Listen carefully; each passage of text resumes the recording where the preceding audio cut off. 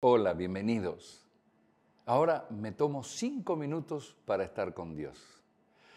Este espacio lo llamamos mi momento con Dios. Son esos cinco minutos que te pueden cambiar el resto de todo el día. Y hoy quiero compartirte una inquietud particular que tiene que ver con las buenas obras que hacemos y que a veces nadie ve. Muchas veces estás enojado, estás con ganas de vengarte de alguien y entendiste que Dios no aprueba eso y que Dios va a tomar control, que Él va a acomodar las cosas, que Él va a corregir a quien tenga que corregir. Y uno pelea hasta que por ahí dice, bueno, aquí estoy, Señor, obedezco. O muchas veces viene una tentación que parece que te quiere hacer caer, que te quiere hacer caer para que destruyas algo, algo que te puede hacer perder tu matrimonio, tu trabajo, tu integridad o lo que sea. Y estás peleando hasta que por ahí, listo, pasó esa oportunidad y dijiste, lo logré. Nadie aplaudió. Nadie te dijo, qué bueno que lo hiciste. No viste a nadie que venga a ponerte el brazo en el hombro a decir, tremenda tu fidelidad con Dios pero muchas veces me encontré en una situación parecida y después de lograr una, victoria frente a una tentación que parecía que me iba a aplanar, que venía como una aplanadora y que venía para aplastarme, yo dije, no, no, no, no, no.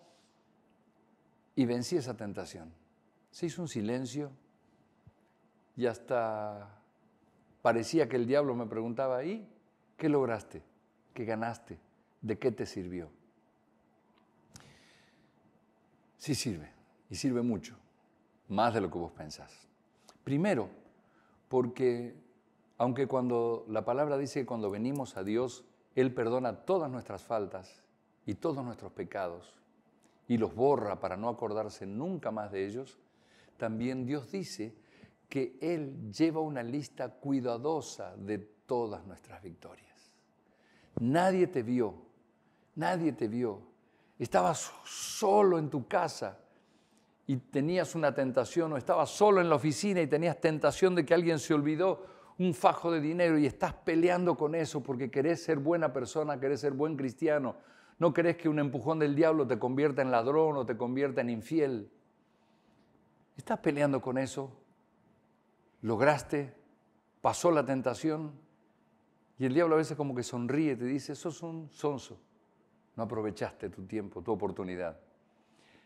Y en ese silencio, la fe nos hace entender algo, que Dios toma nota de todas nuestras cosas. Él dice varias veces en la Escritura, yo conozco tus obras.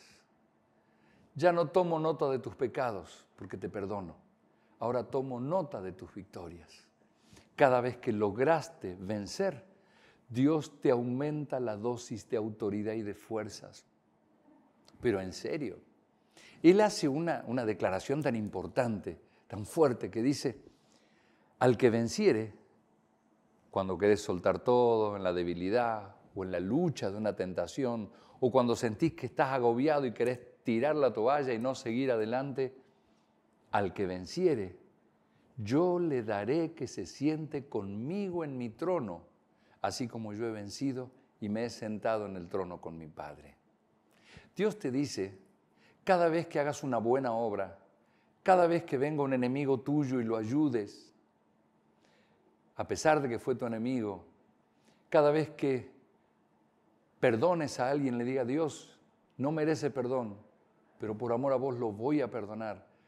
Esas cosas no producirán premios, ni copas, ni trofeos, pero en ese instante, algo invisible a los ojos humanos, pero poderosísimo en el mundo espiritual y en tu propia vida, será que Dios te tomará de tu posición cristiana y te pondrá en una estatura mayor, cada vez de mayor autoridad.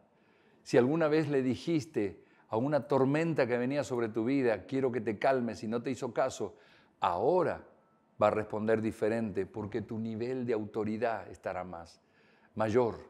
¿Y qué es que aprendí 10 libros de la Biblia? ¿O ¿Por qué tengo esa autoridad?